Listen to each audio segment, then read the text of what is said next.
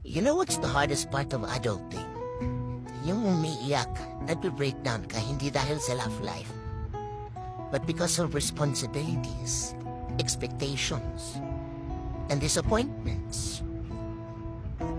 Yung alam mo, pagod ka na pero hindi ka pwedeng magpahinga kasi ang daming bagay ang nakasalalay sa'yo.